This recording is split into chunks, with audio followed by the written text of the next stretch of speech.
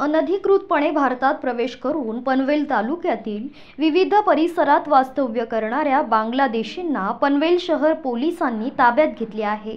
पनवेल शहर पोलिसांनी बेकायदेशीररित्या वास्तव्य करणाऱ्या परकीय नागरिकांविरोधात कारवाई सुरू केली असून वरिष्ठ पोलीस निरीक्षक नितीन ठाकरे यांच्या मार्गदर्शनाखालील पथकाने पनवेल परिसरात झाडाझडती घेत असताना मूळ बांगलादेशात वास्तव्यास असलेले आणि पनवेल तालुक्यातील विविध परिसरात राहणारे आरोपी समी उल बिरू काझी मुबारक हमी शिअली गाझी इक्राम बादशाह शेख आणि रसल बाबुल शेख हे पळसपे परिसरातून संशयितरित्या फिरत असताना मिळून आले.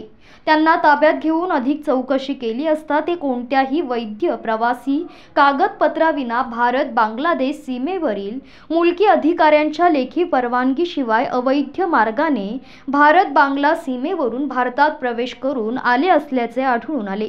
त्यानुसार पनवेल शहर पोलिसांनी या चौघांविरोधात कारवाई सुरू केली आहे.